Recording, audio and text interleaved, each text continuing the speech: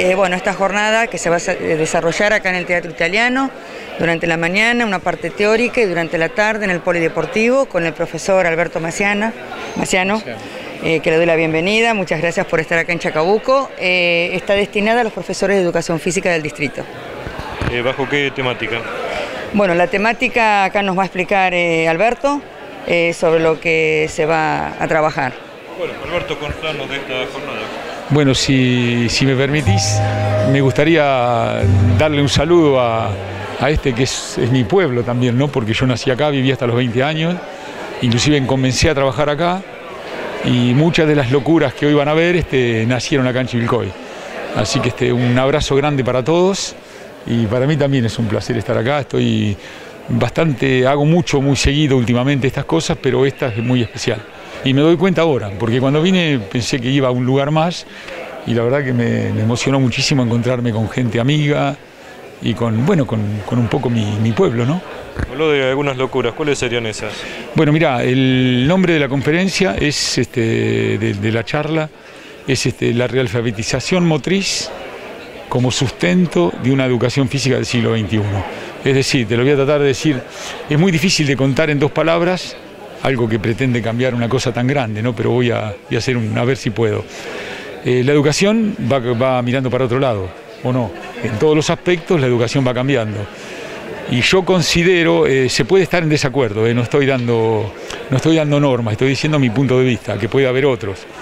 que mm, la educación física nació para entrenar soldados y no ha cambiado mucho con el tiempo todavía es bueno, basta, terminado, tres vueltas, uno, dos, tres, cuatro.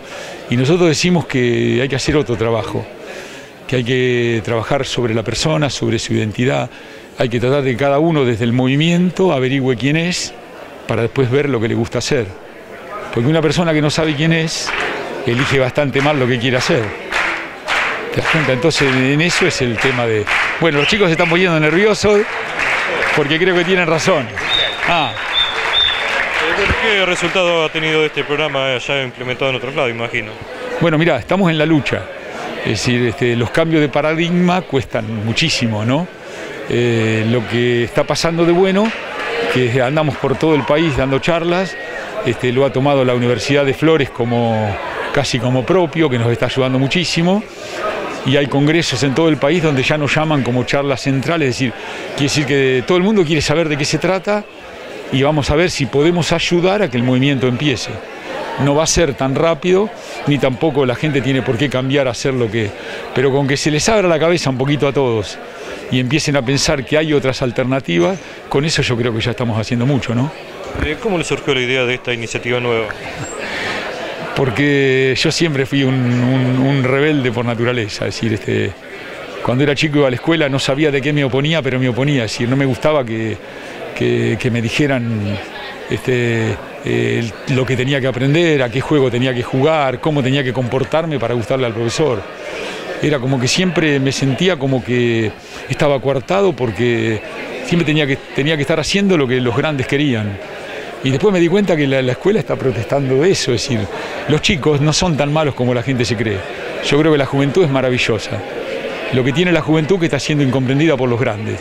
Los que tenemos que revisar cómo somos somos los grandes. Yo creo que los chicos son el futuro del país y es hermosísimo trabajar con ellos. Y si los entendemos y los ayudamos a desarrollarse como ellos están necesitando, va, a cambiar todo. Alberto, gracias. Rubén, bueno, la importancia de trabajar en la educación y en este caso física. Sí, la verdad que hoy para nosotros es un placer. Eh, y en lo personal es un placer mucho más grande. Alberto fue profesor mío de la primaria, de la secundaria, fue entrenador del equipo de boile y de la selección, eh, fue inspector cuando yo empecé a trabajar en educación. Y por sobre todas las cosas, además de saber muchísimos, es un muy buen tipo. Y la verdad que hacía tiempo que veníamos encontrándonos y cuando yo le sugerí la posibilidad de venir a Chacabuco, dijo, ya, sí, decime qué día íbamos porque quiero volver a mi pueblo, quiero, quiero encontrarme de nuevo con mi gente. Y bueno, este, estuvimos charlando con el intendente, con la dirección de educación, con la dirección de deportes, todos estuvieron de acuerdo y bueno, se fue gestando. Tuvimos que ir haciendo algunos este, reacomodamientos de horario por distintas cuestiones, por paros que se fueron dando y demás, pero bueno, llegó el día, hoy lo tenemos acá y la verdad que viene gente de otros distritos de la región, porque lo que no muchos saben es que la nueva el nuevo paradigma de la educación física que trabaja en los diseños curriculares de la nueva educación física es del año 2014-2015 que se empezó a trabajar con esto de la motricidad. Pero en realidad Alberto viene desde el año 90 con esto.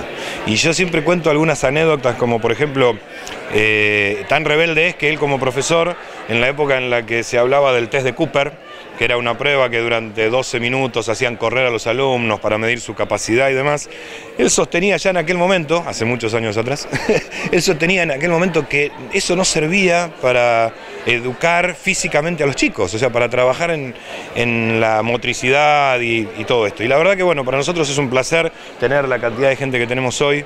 Eh, hay profes de educación física de todo el distrito, hay estudiantes del profesorado de educación física, hay inspectores de educación física de toda la región y hay profesores de educación física de distintos distritos que ya en la última reunión que tuvimos con los jefes distritales el lunes pasado ya me pidieron el teléfono de Alberto para poder seguir haciendo estas réplicas en, todos los lugares. Así que para nosotros yo no me queda más que agradecerle al intendente, a la dirección de educación, a la dirección de deportes, a todos los que estuvieron este, para que esto se pueda hacer y aparte, bueno, fundamentalmente agradecerle al monstruo que es, que es Alberto, que hoy esté acá con nosotros ayudándonos a cambiar un poco la cabeza de los profes de educación física.